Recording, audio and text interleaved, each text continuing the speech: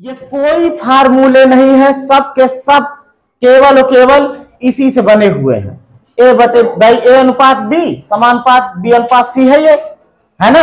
हमने क्या किया? ए अनुपात बी को ए बटे बी लिख दिया समानुपात की जगह बराबर लगा दिया बी अनुपात सी को बी बटे सी लिख दिया, है ना? अब क्रॉस गुणा कर दिया, उसके बाद सारे के सारे ये तीनों, चारों फार्मूले आते चले जाए हेलो बच्चों, कैसे हो आप लोग? ठीक हो। तो हम लोग तैयारी कर रहे थे जवाहर नवोदय विद्यालय प्रवेश परीक्षा 2023 में, जो 29 अप्रैल को होने वाली है। तो इसमें एक चैप्टर है अनुपात और समानुपात के, और उसमें थोड़ा छोटे छोटे क्वेश्चन रहते हैं, लेकिन थोड़ा सा टेक्निकल रहते हैं। किस तरीके से वो हल होते हैं, आइए समझते हैं। मान लीजिए हमारे पास दो तरीके के अनुपात बन जाते हैं। अगर कोई दो अनुपात हो, एक अनुपात ए अनुपात बी है और दूसरा जो है बी अनुपात सी है। इन दोनों अनुपातों के बीच में संबंध बताने वाला जो समानुपात का है निशान, देखो चार बिंदियाँ रहेंगी, समानुपात है। केवल दो रहेंगी तो वो अनुपात है। दो अनुपातों के बीच में संबंध बताता है कौन? ये समानुपात वाला। अब देखो, ये समानुपात दो तरीके हो सकते हैं। पहला कैटेगरी है, जब तीन ही राशियाँ हो, ए, बी, सी। और जो बी राशि है, वो दो बार हो, दोनों अनुपातों में हो। एक अनुपात बी और फिर बी अनुपात सी। और दूसरी कंडीशन है कि चारों अलग अलग हो। ए अनुपात बी, फिर सी अनुपात डी। तो इसमें क्या संबंध बनता है? देखो, इसका यहाँ पे भाई समानुपात लगा है।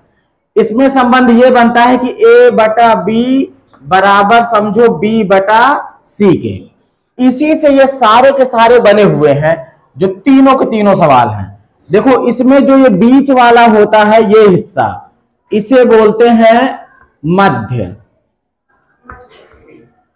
मध्यावर्ती अनुपात या मध्यानुपात। क्या बोलते हैं? मध्यानुपात है। और ये जो ए और सी वाले हैं ए और सी बाहर बाहर के, इनको बोलते हैं बाह्य अनुपात। कौन सा अनुपात? बाह्य अनुपात। बाह्य अनुपात अब देखो, जो मध्यानुपात की बात हो रही यहाँ पर, वो कुछ नहीं, यही बीच वाले बी ही ज्ञात, बी को ज्ञात करने की बात हो रही है। ठीक है? किसकी बात हो रही है? बी की। जो ये तृतीय अनुपात की बात कर रहा है, तृतीय मतलब तीसरे नंबर पे। जैसे देखो, ये पहला है, ये दूसरा तो इसे तीसरा ना समझो। ये दोनों एक ही हैं। ये समझो, ऐसे दिया हुआ मिल जाए हमको। इस तरीके से ए अनुपात बी अनुपात सी कोई तीन अनुपात है तो ये तृतीय बनेगा। क्या बनेगा? जैसे इसमें देख लो, ये तृतीय बनेगा। क्या बनेगा? तृतीय। इसमें भी ये तृतीय है, लेकिन तृतीय इसको हम क्यों नहीं कहेंगे? क्योंकि ये दोनों सेम है। क्या है? ये मध्यानुपात में आ गए। किसमें आ गए? भाई, दो तरीके के बने थे ना कंडीशन एक में देखोगे दोनों चीज़ें सेम है बीच वाली, है ना? और एक में अलग अलग है, ठीक है? तो तृतीय अनुपात में हम किसकी बात कर लेंगे भाई? तृतीय अनुपात में हम सी की बात कर लेंगे, यहाँ की, ठीक है? ये तब है जब राशियाँ कितनी है? तीन राशियाँ। कितनी है?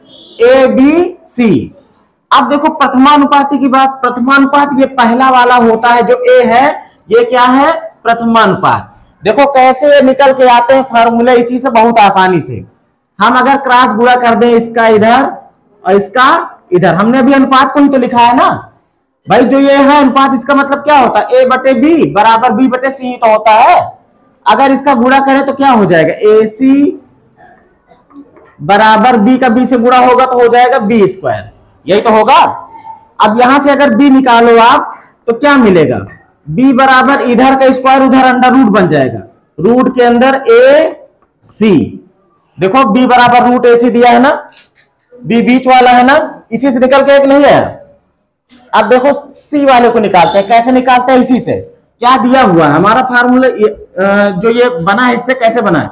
ए अनुपात बी अनुपात, समानुपात बी अनुपात सी यही तो है ना? इसको आप क्या लिखते हो? ए बटे बी बराबर बी बटे सी आपने क्रॉस गुणा किया दोनों का? ए सी बराबर बी स्क्वायर लिखा था ना? अगर यहाँ से हम सी निकालना चाहे, क्या निकालना चाहे? तो ए इधर गुणे में है ना? उधर जाएगा तो भाग में तो बी स्क्वायर बटे ए हो जाएगा ना? ये भाग में चला जाएगा ना? और ये बी स्क्वायर बटे ए कौन है? तृतीय अनुपाती है। देखो सी का मान निकला ना?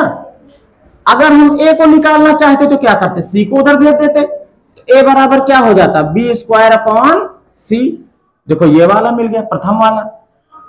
अब देखो चौथा कैसे आएगा? चतुर्था अनुपात चतुर्था इसको बोलते ये चतुर्थ होता है। चौथा होता है। कौन सा होता है? चतुर्थ अनुपात कैसे निकलेगा ये? बिल्कुल सेम देखो, इसमें क्या है? ए बटा बी कहोगे, बराबर सी बटा डी हो जाएगा इसमें ना? सी बटा डी ए बटे बी और सी बटे डी क्रॉस गुड़ा करोगे तो क्या बनेगा? ए का डी से गुड़ा होगा ना? मतलब ए बी बराबर बी सी ए डी बराबर बी सी हुआ है ना? हमको डी वाला चाहिए तो डी के साथ जो गुड़े में है वो भाग में चला जाएगा। मतलब हो गया कि डी बराबर बी सी बटा ए देखो यही तो है बी सी बटा ए सारे के सारे फार्मूले इसी से बन जाते हैं अनुपात से ही। अब देखो इस पर सवाल कैसे लगते हैं। यहाँ पे देखो, पाँच दिया है, यहाँ क्वेश्चन मार्क है। समानुपात, तीन अनुपात, पंद्रह।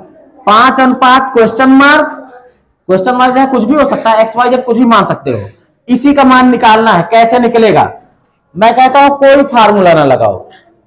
वैसे तो देखा जाए, बीच वाला गायब है ना? बीच वाला तो गायब है? ये मान लो ए है, ये बी है, ये क्या है? सी है, और ये डी है। ये हमारा क्या बनेगा? इसको मान लेते हैं कि ये पाँच बटे यहाँ पे एक्स मान लिया। क्या मान लिया?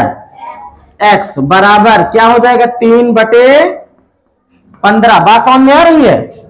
देखो, जैसे ए अनुपात बी समानुपात सी अनुपात डी होता तो ए बटे बी बना देते हैं और सी बटे डी बना देते हैं। ऐसे बना देते हैं ना?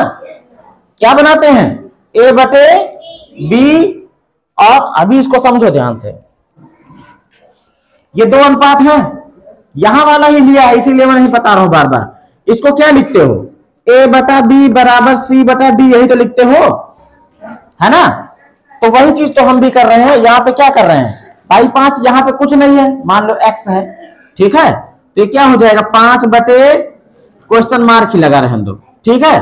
बराबर तीन बटे पंद्रह, ये बनेगा? यही बनेगा ना? अब गुड़ा कर दो इधर, क्रॉस क्रॉस गुड़ा ये क्या बन जाएगा? ये बन जाएगा पंद्रह पचे पचहत्तर। इधर क्या हो जाएगा? तीन गुड़े क्वेश्चन मार्क अब क्वेश्चन मार्क बराबर क्या हो जाएगा? तीन के साथ गुड़े में इधर आएगा तो भाग में ना? भाई क्वेश्चन मार्क के साथ ये तीन गुड़े में है ना? इधर आएगा तो भाग में पचहत्तर बटे तीन। तीन दूनी छ। एक बचा ना? तो पंद्रह हो जाएगा तीन पचे।